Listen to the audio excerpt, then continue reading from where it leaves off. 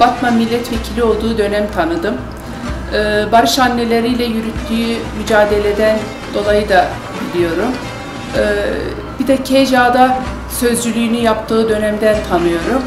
Ee, Duruşuyla çok düzgün bir insan, Ee, çok sevdiğim ve takdir ettiğim bir kişi.